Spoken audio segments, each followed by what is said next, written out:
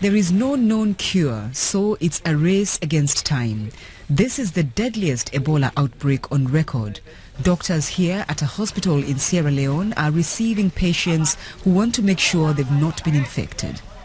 The latest figures from the World Health Organization say more than 1,200 people have been infected in the region. Around 670 of them have died. More than 319 of the deaths have been reported in Guinea, with over 220 deaths in Sierra Leone and more than 120 deaths in Liberia and one recorded death in Nigeria.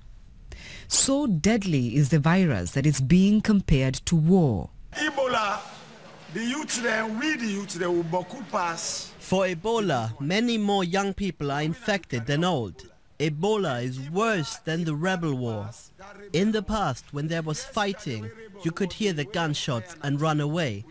But if I have Ebola, those around me won't know. And I could infect them. Liberia has now closed all but three border crossings, restricted public gatherings and quarantined communities that are heavily affected by the Ebola outbreak.